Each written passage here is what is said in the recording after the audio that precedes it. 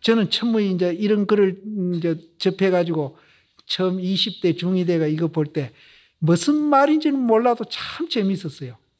참 재밌었어요.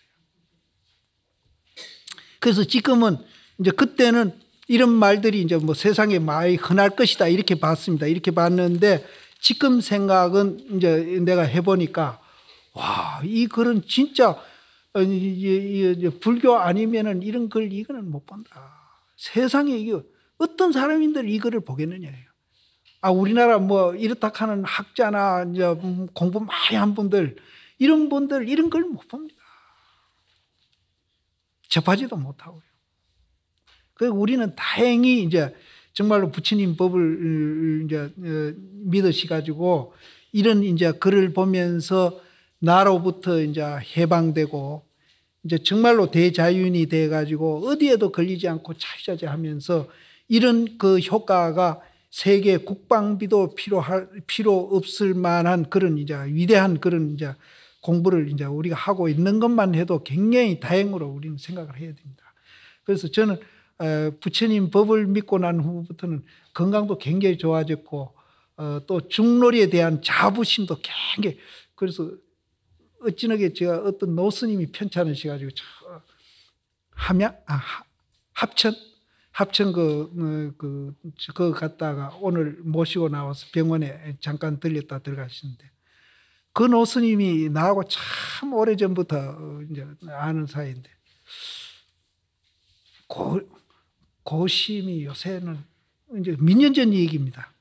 요새는 굉장히 뭐 자신감이 있어. 저도 이, 이 굉장히 열등의식이 많아가지고 굉장히 남 볼 때는 좀 위축되면서 이렇게 살아왔었어요. 근데 그 노스님이 한 10년도 넘었겠습니다. 고심이 요새 굉장히 당당해졌어. 굉장히 자신감이 있어. 그래서 저는 이, 이 이제 법을 깨친 건 아니고 이해만 해도 이 중놀이에 대한 굉장한 자부심을 저는 갖고 있습니다. 그래서 더러는 날 보고 교만하다 할 정도로 저는 이제 그 당당한 그런 마음을 갖고 그래서 제가 이몸좀 고단하고 뭐 피곤하고 이러더라도 막이이 얘기만 내놓으면 저는 막 피곤한 줄 몰라. 그래서 저도 이제 이 부처님 법에 대한 가치를 이제 조금 조금씩 이해를 하니까 그렇게 이제 당당해지고 정말로 이제 이 승복을 입고 있다는 이 자체가 저는 굉장히 자부심을 느끼고 자랑스럽게 생각하고 또 부처님이 그렇게 고마울 수가 없어요. 아주 고마워요. 먼저도 제가 이 얘기 드리는 거 저는 이 폐가 하나 없거든요. 지금도 엑스레이 보면 이 폐가 없습니다. 없는데 어, 그래도 이제 이거 없을 때까지는 제가 제 스스로 굉장히 학대를 하면서 살아왔는데 요즘은 제가 제 스스로 굉장히 이제 나를 사랑하면서 어, 당당하게 참 부처님 고맙고 내가 이 중놀이에 대해서도 굉장히 자부심을 느끼고 그렇게 하거든요. 그래서 절에 댕기시는 거를 굉장히 자랑으로 이기시고요. 좀 이제 당당하게 이제 이렇게 절에 댕기는 걸 굉장히 자부심을 느끼셔도 정말로 음, 전혀 그건 뭐 잘못된 게 아닙니다. 아까도 말씀드렸지만은 이런 얘기는 어떤 학자고 어떤 지식인이고 이런 얘기는 못 합니다. 이런 얘기는 안 나옵니다. 근데 제가 만나 본 분들 중에 이제 좀 공부를 좀 많이 한 사람일수록 이거 이해하는데 좀 힘이 들대요. 그 이상하게 그렇대요. 이게 자기 지식이 딱 들어가 있어가지고 이걸 비안해야 이게 쉽게 들어가는데 자기 그 고정관념 이것 때문에 안 되는 것 같아요. 그 부산에 그, 그 한 분 교수님인데 그분은 그, 그, 색이 공이라 하는 말은 이해가 되는데 공이 색이라는 말은 안 된다. 저 절대 안 된다, 그게. 그럼 내한테 한열 번도 넘겨왔죠. 그런데도 그게 안 돼. 색이 공이라 하는 건 알아듣겠대요. 근데 공이색이라는 말은 절대 이해가 안 된다. 요, 요 조그만한 거 하나만 더 하고 이제 진행할까요? 어, 육과는 해제 법문입니다. 이제, 이제 해제했을 때 이제 법문하는데요. 이제 결제는 우리가 뭘 이렇게 이제 어, 구속하고 이렇게 이제 어, 이렇게 하는 거라면은 해제는 이렇게 우리가 이제 자유하는 거 이렇게 이제 문을 닫아놨다가 여는 거 결제는 문을 닫는 거라면은 해제는 문을 여는 겁니다. 열고 자유자재하는 거 그걸 말하는데 구순은 90일이라고 그랬죠. 구순을 이제 승두를 잡아 어, 잡아 정해 가지고 승두는 화두입니다. 화두 화두라고 보시면 됩니다. 어, 이 승자가 노, 노끈 노끈 승자인데 화두라고 보시면 됩니다. 어, 승두를 어, 잡아 정해 가지고 실터럭만침도 이제 주작함을 용납하지 아니하고 이 주작은 천무인은 나는 이제 달려 짓는다 이렇게 글자 그대로 쓰겠는데 중국 사전에 보면은 어떤 그 법규에 어긋나게 하는 것을 주작이라고 합니다. 무슨 법에 어긋나게 하는 것 주작. 그러면 이제 우리가 이제 결제를 했다면은 결제 또한에 열심히 이제 그 어떤 청규나 이제 또 그 법, 어, 법도에 의해 가지고 이제 이렇게 열심히 이제 공부를 해야 되는데 그 법에 어긋나게 이제 조그마한 거라도 어긋나게 하면은 그 이제 결제 중에는 용납을 안 하거든요. 그래서 화두를 잡아 정해 가지고 실트럭만침도 그 법에 어긋나게 하는 것을 용납하지 아니하고 바로 개개인이 이제 여기도 이제 가죽이 뜰어지고 뼈가 드러나 가지고 일곱 번 이제 떨어지고 여덟 번 떨어. 그러니까 누더 옷이 떨어져가 너덜너덜하게 일곱 번 떨어지고 여덟 번 떨어진다는 거예요. 살이 이제 그렇게 이제 떨어지더라도 이거는 굉장히 열심히 공부한다는 얘기죠.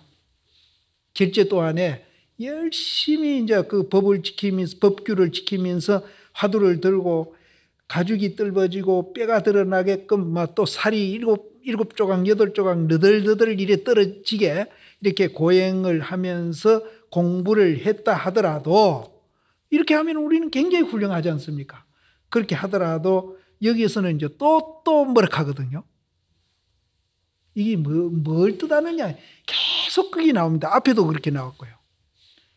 그렇게 열심히 공부를 하더라도 냉안, 냉안은 아주 냉철한 눈으로 보면은 아주 냉철한 눈으로 보면은 보아오면은 그것이 뭐와 같은가 하면은 화두를 들어서 벗겨도 손톱 만침도 안 엉키고 살이 이제 어, 가죽이 들어 가죽이 뜰어지고 뼈가 드러나가서 일곱 쪼가리 여덟 쪼가리 살이 이렇게 어, 떨어지게 공부를 했다 하더라도 냉철한 눈으로 보아올진대는 뭐와 같은가 하면은 땅을 파고 하늘을 찾는 것 같다.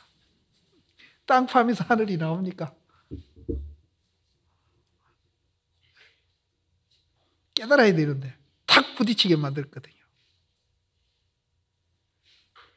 내가 부딪힌다 소리를 많이 해 말길도 끊기고 생각의 길도 탁 끊겨버리잖아요.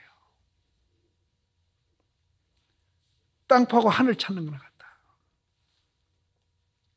그래서 천 번 어긋나고 만 번 어긋남이로다. 그렇게 천 번, 만 번 해도 뭐천 번, 만 번 다 어긋난다. 부처님이 도를 통해 가지고 45년 동안 설산에 내려와가 포교를 하고 다니는데 가는 데마다 사람을 만나 가지고 대면해 가지고 거짓말하고 돌아다니네. 땅을 파고 하늘을 찾는 거나 같다.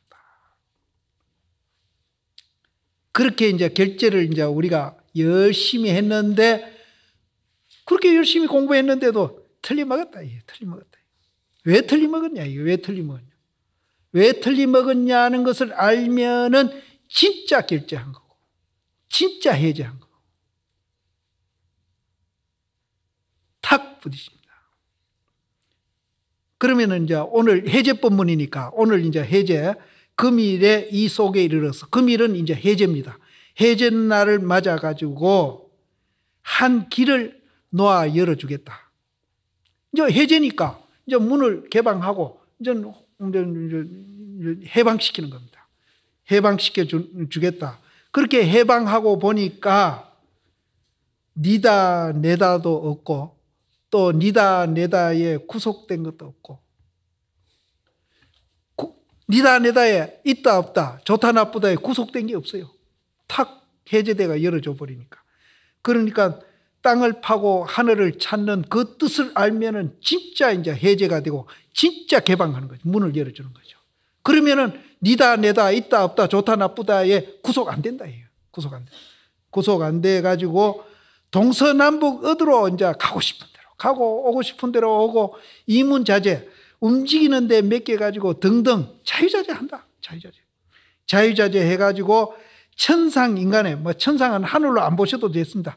기분 좋은 거, 기분 좋은 거. 천상 인간의 소요함이성 왔다 갔다 산보하면서 쾌락을 즐긴다. 그때는 굉장히 이제 매일매일 좋은 날이 되니까 거기는 기분 나쁘다, 음, 싫다, 괴롭다, 이게 이제 없어진다. 그게 진짜 해제다. 진짜 해제다. 그러하기가 비록 이와 같으나 이렇게 이제 됐다고 합시다. 이렇게 되기가 비록 이와 같으나 또 일러라. 또 이제 한 번 더 이제 한 번 더 자기 스스로 점검을 해봅니다. 또 일러라. 호련히 화탕, 노탕, 금수, 도산을 만나가지고는 화탕, 노탕은 뭔가 하면은 화탕은 펄펄 끓는 가마솥 물입니다. 그 속에 들어가면 어떻게 돼요? 그 속에서 어떻게 피하, 피하랍니까? 그 속에서 어떻게 피할라?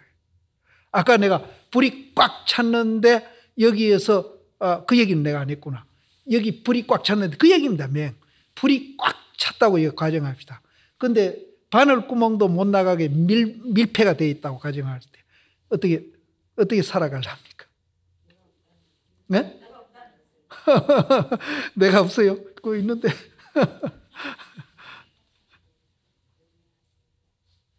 이맹이 얘기입니다.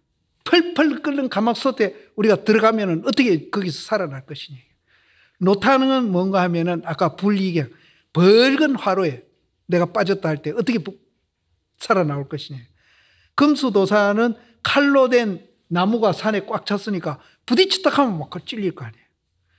또 칼로 된 산, 밟았다 하면 칼이 찔 이게 이제 굉장히 이제 조금 표현이 이제 굉장히 그좀 어, 어, 이렇게 했는데요. 이 표현이 아주 적절한 표현입니다. 이, 이 자리에서 우리가 어떻게 살아날 것이냐예요. 알지 못하라. 야, 어떻게 머물며 깃들 것이냐. 거기서 어떻게 살아날 것이냐. 또 여기도 이제 침묵을 하시고, 여기 대답입니다. 여기 살아나는 방법. 아까 이 불이 꽉 차서 바늘구멍도 어, 음, 어, 나갈 틈새가 없는 그런 지금 음, 공간에 불이 꽉 찼는데 내가 어떻게 살아나갈 것이냐. 그랬는데 여기 대답입니다. 여기서도 양구를 하시고 양구는 침묵을 하십니다. 침묵을 하시고 억 하고 이렇게 고함을 치겠다. 이어서는 악 하고 감을 칩니다. 그게 계속 같은 법문을 지금 하고 있는데 이 법문을 통해서 정말로 체험하라고 체험하라고 이제 이분이 평생 이렇게 법문한 것을 기록해 놨다가 여기에 이제 그, 그 누굽니까? 그 홍교조, 홍교조라는 그 석가 제자 되는 그분이 이제 그 중에 중요한 법문을 뽑아가지고 이렇게 편집해가 책을 하나 만드는 겁니다. 그러니까 이분이 평생 한 법문 중에 제일 중요한 것만 뽑아가 이렇게 해놨기 때문에 지금 우리는 이제 이걸 짧은 시간에 보니까 이제 이게 이제 자주 자주 이제 부딪히는데 이거는 상당 기간에 했던 법문을 이제 중요한 것만 뽑아서 이렇게 책을 만드는 겁니다. 근데 이제 어, 평생 한 법문이기 때문에 이분 법문이 이제 이렇게 나오는데 저는 이제 이게 보면서 말만 바뀌됐다 뿐이지 거의 같이 지금. 그래서 이제 이렇게도 부딪히게 만들고 저렇게도 부딪히게 만들고 계속 이제 부딪히게 만들고 있습니다. 그래서 그 부딪힘에 의해 가지고 막 정말로 한 방 깨치라고 이분이 그 거기에 의도가 있는 겁니다. 한 방 깨치라고. 예. 근데 못 깨치는 분은 그래도 막 이제, 이제 나중에 발심이 돼가지고 이 법을 믿고 발심이 돼가지고 의정이 이제 돈발이 돼가 공부하도록 이렇게.